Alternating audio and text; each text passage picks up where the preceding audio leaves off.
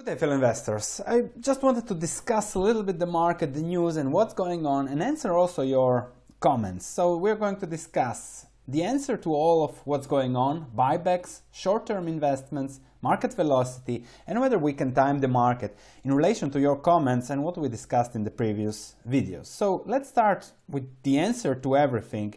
And to analyze what's the answer, we can discuss jobs, the economy, for hours. Unfortunately, job cl jobless claims are going up also in Norway, and it's normal, especially for the temporary jobs, etc. I hope the impact won't be long lasting. So that's the hope I have. But then again, we can look at the impact on the economy depending on how long this will last 7 8% GDP decline if 50% of the economy shuts down just for two months. Okay, that's the impact again. We can discuss it for hours. The reaction of the central banks. Are they printing enough money or not enough money? What's going on with yields? We can discuss the situation in the current health system uh, per country. Which country will be hit more, will be hit less? So, debt rates and everything. We can discuss the market, how it's now back to previous levels, December 2019 or 2017, depending how you look at it, the volatility. We can discuss that there are bargains of lifetime, like Bill Ackman has called them. We can discuss oil. I might make a special video on oil uh, to see what and where is the case here. Then we can also discuss uh, high yields, risky businesses, and the situation there, which his which is a real bloodshed. However, so we can talk about all those things. However, the answer will be given by when the situation stabilizes. Will it be three months? Will it be six months? Will it be a year? Two years? Nobody knows, and therefore, also now really talking about all this economic stuff, and I can make beautiful videos that you will enjoy about all of that but I don't think there is much value there except for, I don't know, YouTube revenues from uh, advertisements or something like that. So I really am also focusing back on the research, looking at businesses, and simply sticking to my strategy. So, so no point talking about things that we really don't know and that really remain to be seen. And there is a lot of info changing every week so we hope for the best, and that's what we can do and prepare for anything. That's the only option, I think. However, there are some really, really interesting comments that discuss something very important, something also that will give us lectures for long term investing over our life cycle. SYI 23600 discusses about Boeing and all these companies asking for bailout bailouts, Boeing Airlines, cruise lines have spent millions combined, trillions in buybacks. So, and now they are asking for bailouts from the taxpayer. And I usually also am against buybacks, especially when made and when those are destroying book value.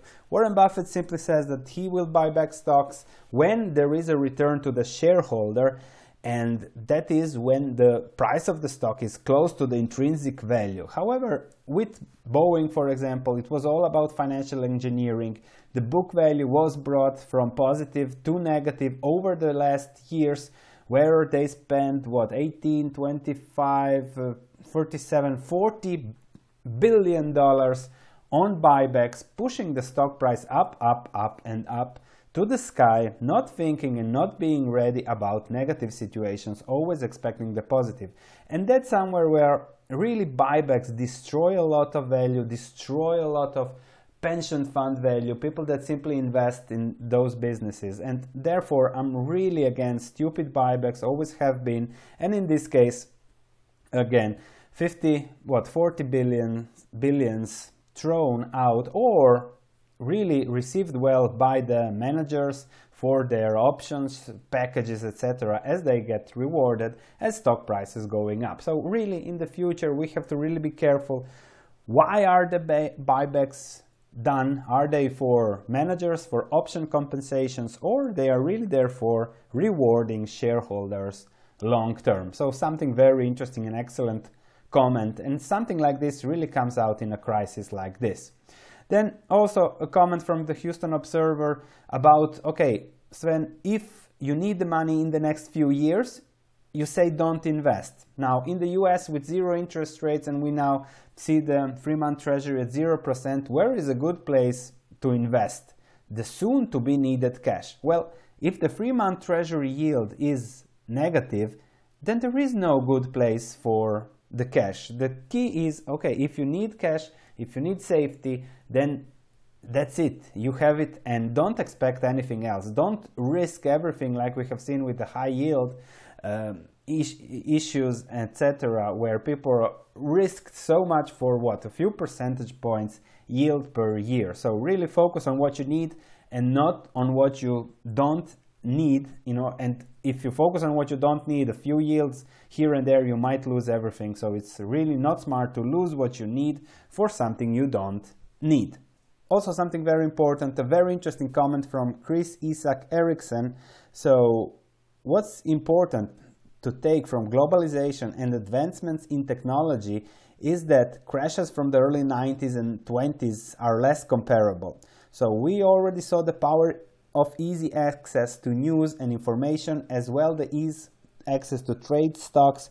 While it took two months for the S&P 500 to fall 31% in 2008 I think it has now fallen 43% in two weeks. So my assumption is that both the bear market and reaching a bottom will be much faster than we have seen before as well as the recovery thereafter. But as you say nobody knows. So markets are moving extremely fast. Bigger markets really relying on all the news, trying to price in the news, which is impossible as we have seen above earlier. Nobody knows what will happen.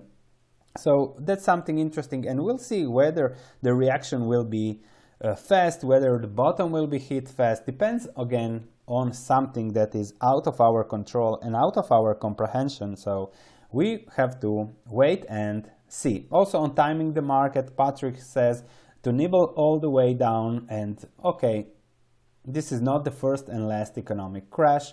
Then Pavel, it's clear that most, if not all, the recession lasted a year with an average about one and a half, two years. I don't see a reason why this time it will be different and why not wait at least a year before start buying. And here I really don't know about timing the market. Will it be now the bottom? Will it be in six months? So 2018 December also was everybody was thinking about recession. 2015. So if I had sold in 2018 or in 2015, I would have been worse off. Also, Richard, best investing advice I can give in this situation: make yourself a coffee and just stop for a minute. Calm down and think. When the media, public, and politicians are stressing, it can be infectious.